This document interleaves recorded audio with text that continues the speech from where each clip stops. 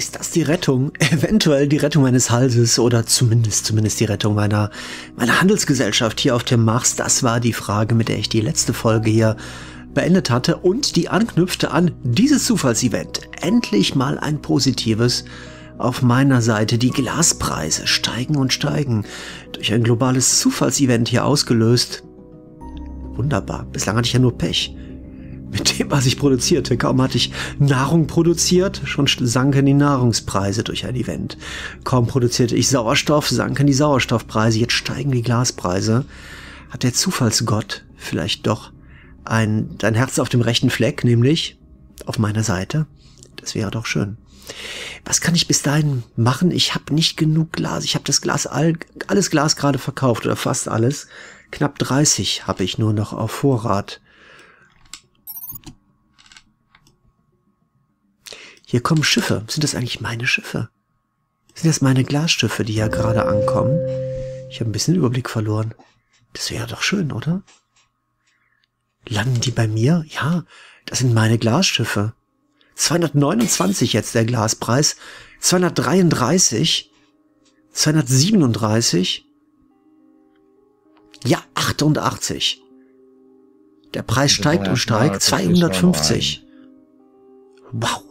253, 259. Drei, oh, ich fass es nicht. Ich lasse ihn noch weiter steigen. 71. Ganz ruhig bleiben, WB. Ja, jetzt stoppe ich. 275. Jetzt kann ich den eine goldene Nase mir holen.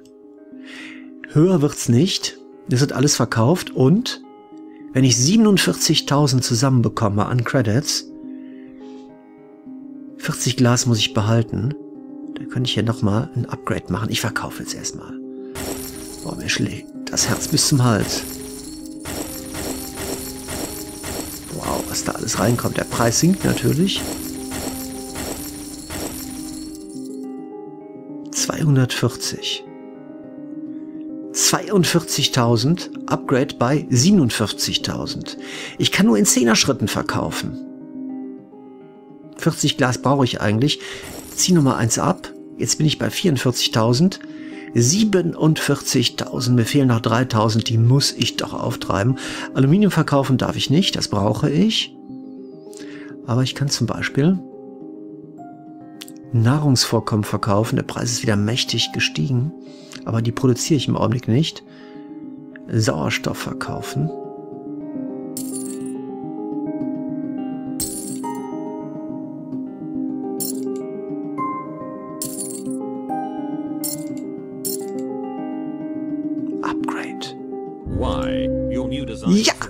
Colony layout is simply breathtaking.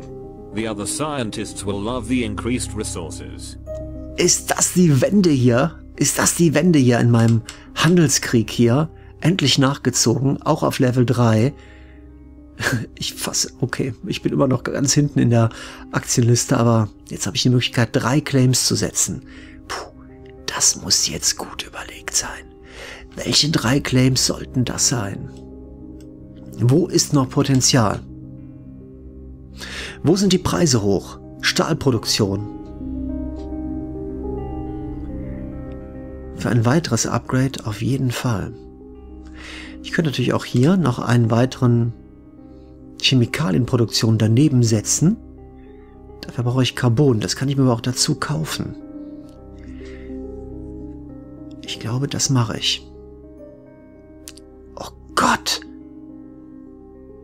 Ich habe gar keinen Stahl. 10.000 brauche ich, um mir das bauen zu können. Aber hier markiere ich auf jeden Fall einen weiteren Claim für die Chemikalienproduktion.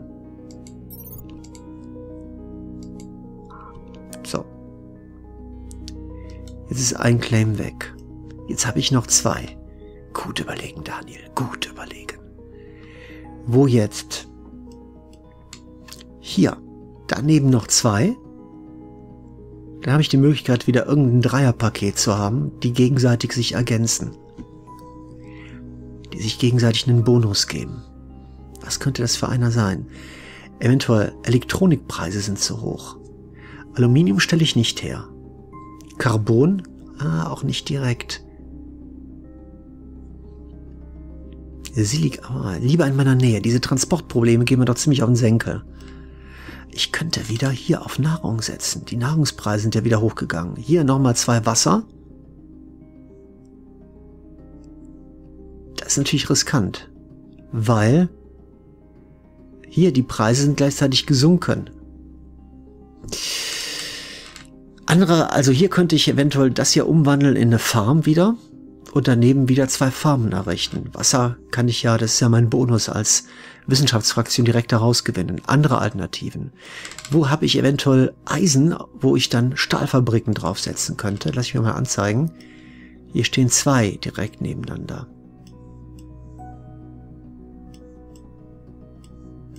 Da hinten stehen zwei direkt nebeneinander. Ich bin mir nicht sicher. Wisst ihr warum? Im Augenblick sind die Stahlpreise unglaublich hoch. Es gibt kaum was Besseres. In der Spätphase des Spiels wird das anders aussehen. Wenn alle hier nämlich ihre Gebäude aufgelevelt haben, komplett, und mehr als Level 5 ist gar nicht möglich hier beim Hauptquartier, dann sinken die Preise wieder. Wenn ich bis dahin überlebe, wenn ich bis dahin nicht aufgekauft werde und dann nur im Spiel sein sollte, dann will ich mich eventuell ärgern, dass ich diese drei Claims habe oder zwei Claims habe weit weg, wo ich mich frage, was soll ich da eigentlich machen? Und dann fände ich schöner, Claims zu haben, die direkt an meinem Hauptquartier zum Beispiel stehen würden. Wo gibt es sonst noch interessante Ressourcen? Kaum noch, die sind alle schon gemobst worden, aber ich brauche nur, nur einfache Ressourcen. Ich brauche keine, keine Riesenressourcen. Gibt es irgendwo noch ein Dreierpaket? Oder ein Zweier, direkt nebeneinander?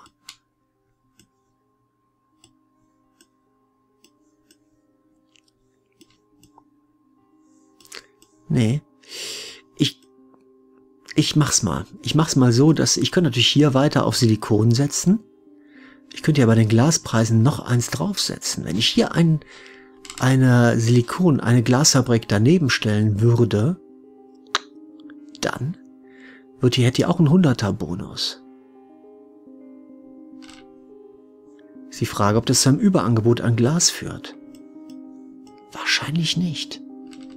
Ich würde natürlich alles auf Glas setzen, dann alles. Das ist riskant. Und hier habe ich dieses eine verwaiste Geländefeld. Hier, die 107er Preise sind auch ganz okay für die Nahrung im Augenblick. Ich mach's mal. Also ich hole mir mal die beiden hier. Ich riskiere es echt. Obwohl, die, die muss ich nicht claimen. Das ist nicht nötig, weil äh, wenn irgendwas passiert, die muss ich nicht claimen, die wird mir die KI nicht wegschnappen. Kann ich mir nicht vorstellen. So, hier habe ich das leere Feld.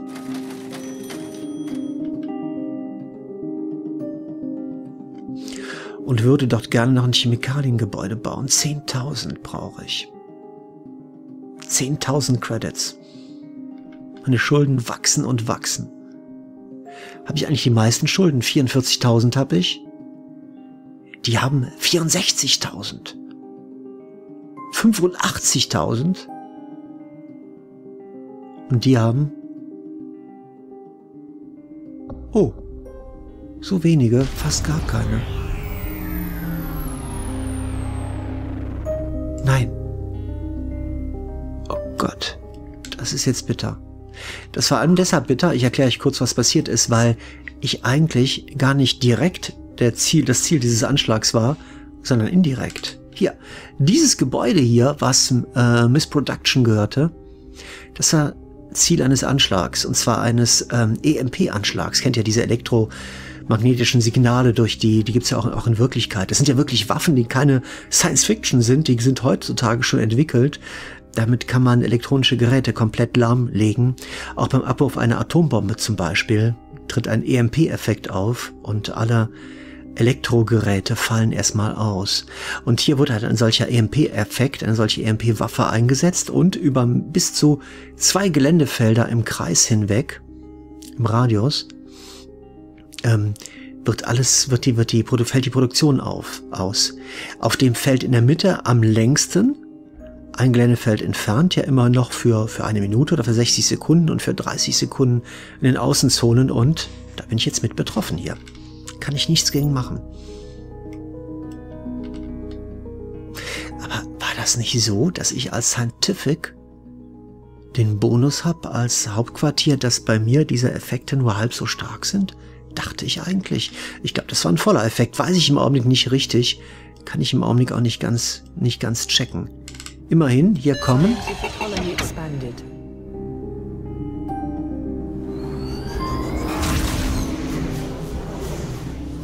ein Patent nach dem anderen wird geholt. Davon profitieren die. Oh, ich bekomme hier mittlerweile Chemikalien. Das kann ich investieren. Hier landen die ersten Glasschiffe.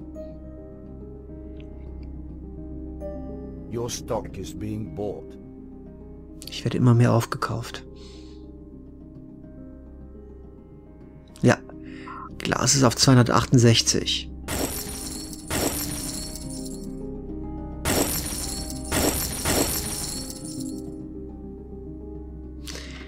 kann ich hier ein weiteres Chemikaliengebäude bauen. Hab dadurch einen 100er Bonus.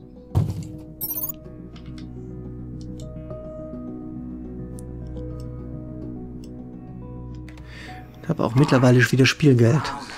Ein neuer Claim. Wo denn? Ach so, ganz allgemein neuer Claim. Da biete ich mit. Muss ich ja nicht zahlen. Geht ja alles in die Schuldenkasse.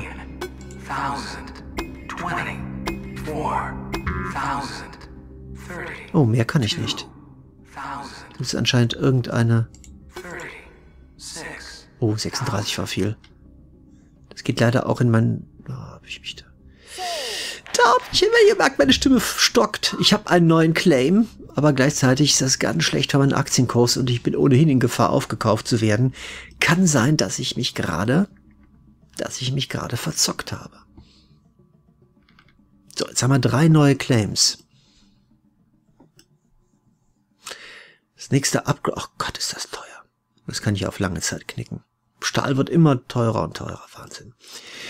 So, jetzt ist die Frage, ähm, ich produziere Chemikalien. Was ich gerne machen würde, wäre das Gebäude ja bauen. Kostet leider 20.000, aber da kann ich meine Chemikalien investieren, um gezielt die Produktion zu erhöhen bei meinen Chemikalien und bei meiner Glasproduktion. 20.000 kostet mich das.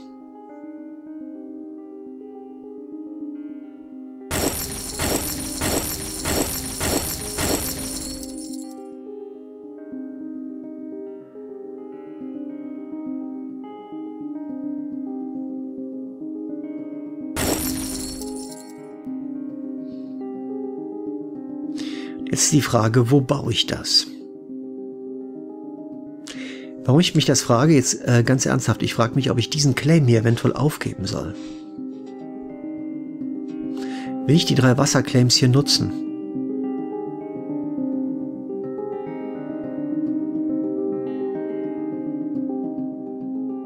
Denn hier sind die Preise, Sauerstoffpreise gehen, aber die Treibstoffpreise, die sind heftig gesunken. Ja, ich möchte nicht auf, ich möchte nicht umbauen. Ich mache das tatsächlich so, baue den woanders. Also ich baue dieses Engineering Lab. Das baue ich hier. Das kann man nur bauen in der Nähe des äh, Hauptquartiers halt. Und äh, ich will das nicht zu dicht an... Ich muss aufpassen, ich darf das nicht zu dicht an irgendwas anderem dran stehen, dran stehen haben. Das könnte ich Ärger bekommen bei irgendeinem Anschlag. Aber das hier, das sollte okay sein.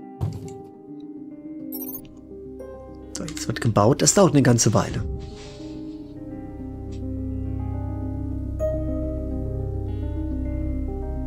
Nacht beginnt.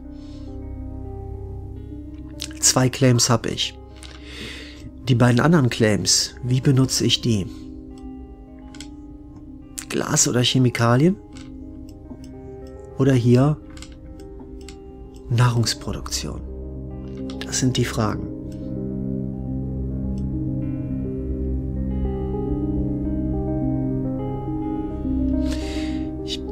Kann sein, dass ich hier auf Nahrung umstelle. Ich weiß es im Augenblick nicht.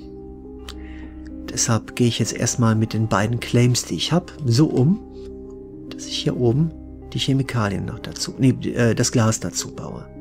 Dafür brauche ich, oh Gott, 10.000. 10.000. Und ähm, 2500 nur für eine Farm.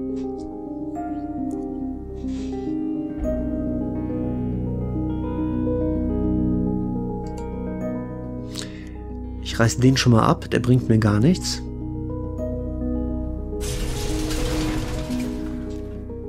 Bau hier eine Farm.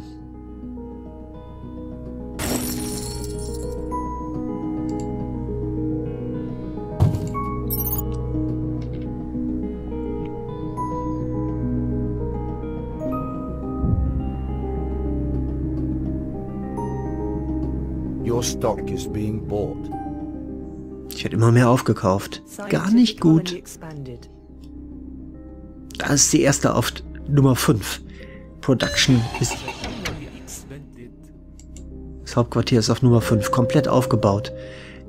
Ausgebaut. Das sollte den Stahlpreis, hoffe ich, hoffe ich, bald ein bisschen sinken lassen.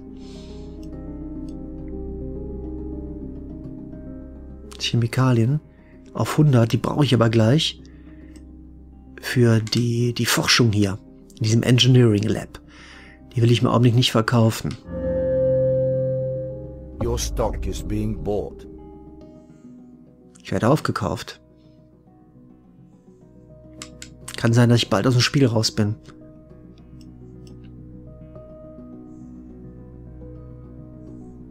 Your stock is being bought. Ja, das ist ein massiver Angriff auf mich.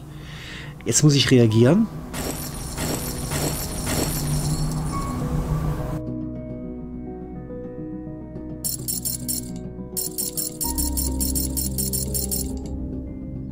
Ist eh nichts wert hier. Und kaufe eins dazu, treibe damit den Preis in die Höhe. Dadurch wird es ein bisschen teurer, mich aufzukaufen. Denn, äh So, jetzt habe ich hier mein Engineering Lab. Hier ist es, das ist dieses Gebäude hier.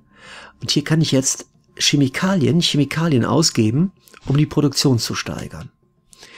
Wenn ich zum Beispiel die Chemikalienproduktion hier auf Upgrade klicke, gebe ich 20, Ch- 20 Chemikalien aus und äh, dadurch erhöht sich die Chemikalienproduktion um 25% um ein Viertel. Das ist verdammt viel. Da das hier neben der Glasproduktion für mich die wertvollste ist, mache ich das sofort. Gleichzeitig muss ich hier, na, hat, wurde das gerade nicht angenommen? Doch. Gibt es eine Verzögerung? Hier fehlt Carbon. Das muss ich manuell kaufen.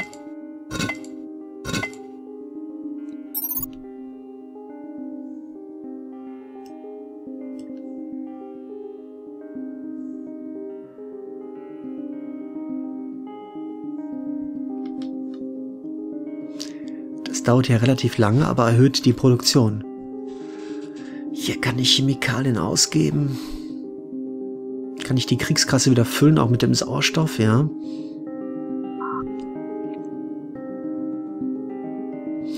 Gibt es irgendwas, wo ich spekulieren könnte mit kaufen oder verkaufen?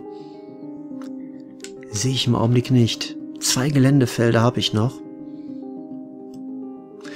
Muss schnell an Gold, an, an Geld kommen, an Credits kommen. Also hier oben.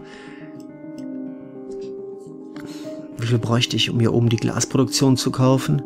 10.000 immer noch. Wie viel ist ja?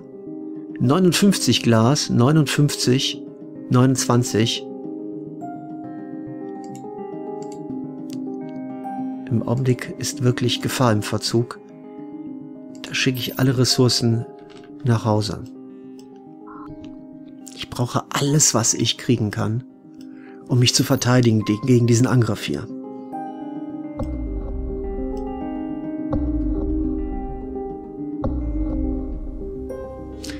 Zwei Claims habe ich noch. Ich werde nochmal aufgekauft. Diesmal auch von anderen.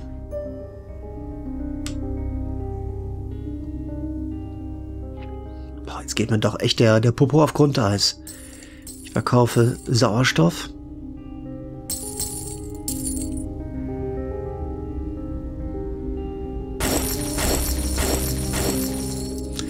Ich verkaufe Chemikalien. Ich treibe meinen Preis in die Höhe.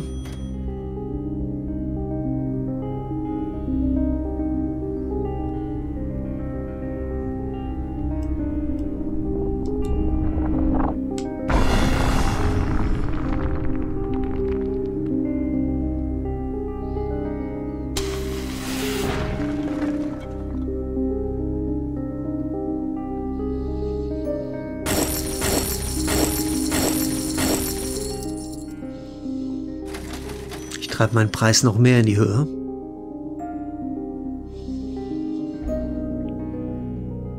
So, jetzt ist die Chemikalienproduktion verbessert. Ich setze noch eins drauf. Brauche gleich 40 Chemikalien dafür.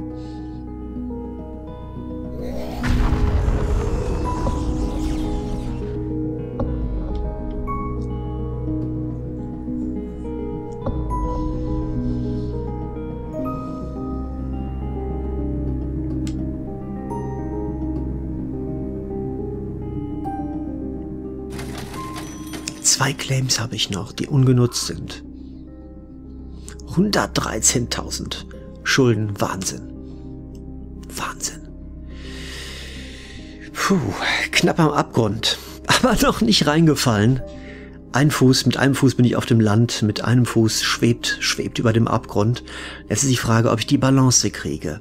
Etwas zu weit vorgebeugt und ich plumse in einen dieser Canyons rein, die es hier auf dem Mars in rauen Mengen gibt. Etwas zu weit zurückgelehnt und ich falle auf mein Hinterteil und das sieht dann auch reichlich doof aus und ich muss mich erstmal aufrappeln und komme auch nicht in die Puschen.